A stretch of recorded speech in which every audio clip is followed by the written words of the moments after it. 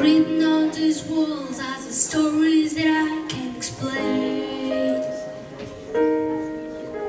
I leave my heart open, but it stays right here empty for days. She told